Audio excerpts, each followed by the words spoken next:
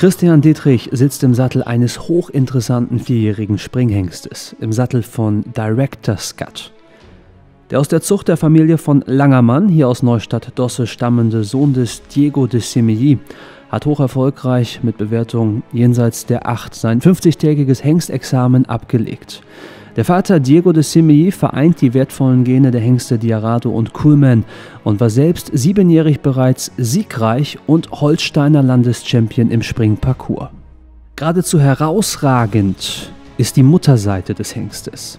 Kaskaya, Tochter des Hengstes Carlyle, als erste Mutter war im letzten Jahr sechsjährig altersgemäß siegreich in Springpferdeprüfungen der Klasse M.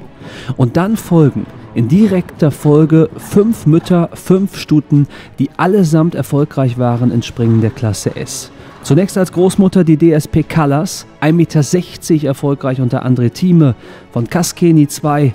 Im Pedigree folgen die Hengste Levestano, Landrebell, Wanderlust und Direx, allesamt Neustädter Landbeschäler und ganz besonders bekannt natürlich auch die vierte Mutter DSP Lucy bis in drei Sterne S springen siegreich unter Laura Stremel.